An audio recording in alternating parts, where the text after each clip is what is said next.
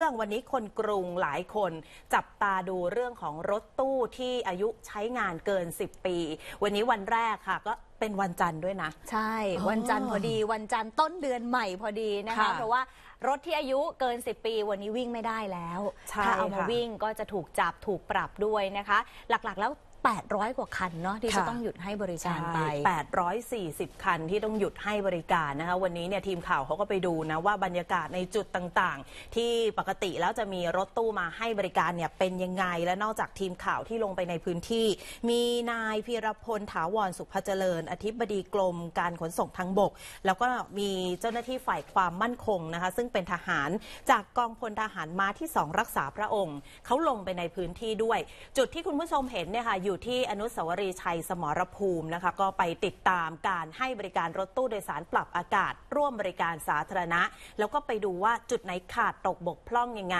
จะได้อำนวยความสะดวกให้กับประชาชน โดยเฉพาะช่วงเวลาเร่งด่วน ภาพรวมการบริการวันนี้ค่ะ ก็ถือว่าเรียบร้อยนะคะ เพราะว่าผู้ประกอบการรถตู้ให้ความร่วมมือ แล้วก็มีการเพิ่มเที่ยวรถ โดยมีการตั้งศูนย์ติดตามสถานการณ์ แล้วก็ขอร้องเรียนผลกระทบต่างๆค่ะก็คือมีจุดเลย ถ้าผู้โดยสารได้รับผลกระทบแจ้งได้เลย รวมถึงให้ข้อมูลผู้ประกอบการรถตู้ที่หมดอายุมาเปลี่ยนเป็นรถตู้ใหม่ ส่วนการแก้ไขปัญหารถตู้ที่ไม่พอนะคะก็มีการประสานขอสมกนำรถเมย์ 65 คันค่ะ มาเตรียมความพร้อมให้บริการเสริมในชั่วโมงเร่งด่วน 6 เส้นทางด้วยกัน ฟังประเด็นนี้เพิ่มเติมจากอธิบดีกรมการขนส่งทางบกกันค่ะ ก็จะในทุกจุดก็จะมีการให้การเตรียมการเพื่อให้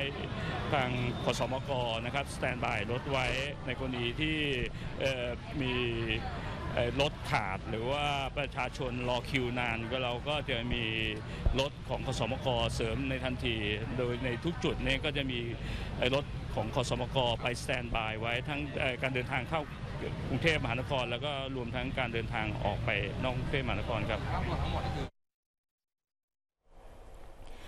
ไปถามผู้โดยสารเหมือนกันนะคะ อย่างประชาชนเนี่ยว่าเอาว่าเช้าวันนี้เดินทางไปทำงานเป็นยังไงกันบ้างนะคะ ประชาชนที่มารอใช้บริการก็บอกว่า ตอนนี้อาจจะต้องปรับตัวอยู่ เพราะว่าช่วงเช้าที่ผ่านมาเนี่ยใช้เวลารอรถนานกว่าปกติ แต่ก็ยังถือว่าวันนี้ยังไม่ได้รับผลกระทบค่ะ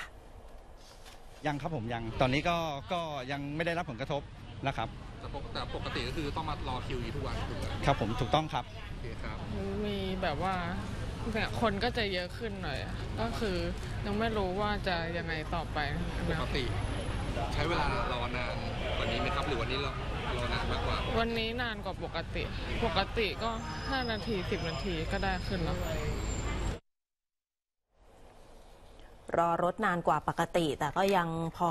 เดินทางได้นะคะ ค่ะ ก็ถือว่าอยู่ในช่วงปรับตัวสำหรับผู้ประกอบการค่ะ ถ้าเกิดว่าฝ่าฝืนแล้วก็นำรถตู้ที่หมดอายุการใช้งานมาวิ่งให้บริการเนี่ยมีโทษด้วยนะคะ ซึ่งเป็นโทษตามพระราชบัญญัติ การขนส่งทางบก มีโทษปรับตั้งแต่ 20,000 ถึง 1 0 0 0 0แบาท แล้วมีโทษจำคุกอีกด้วยค่ะ ไม่เกิน 5 ปี